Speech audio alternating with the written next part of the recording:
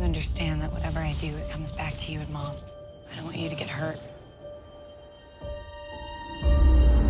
Since the last games, something's different. I can see it. What can you see?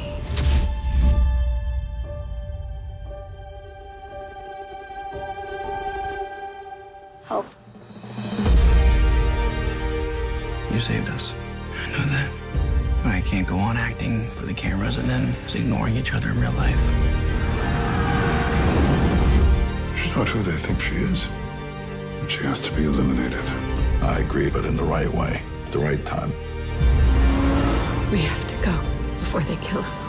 They will kill us. People want to fight. I'm staying here. They fought very hard in the games, Miss Everdeen. But they were games.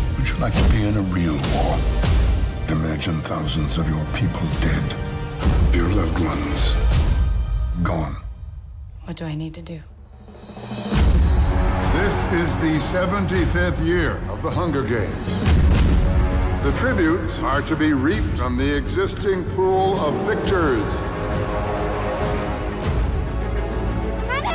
I get to say goodbye. So what do we do? I think these games are going to be different. The 75th Hunger Games! Ready to work? There she is, Katniss Everdeen, the girl on fire! I want you guys to forget everything you think you know about the games. Last year was child's play. Year, you're dealing with all experienced killers. Any last advice? Stay alive.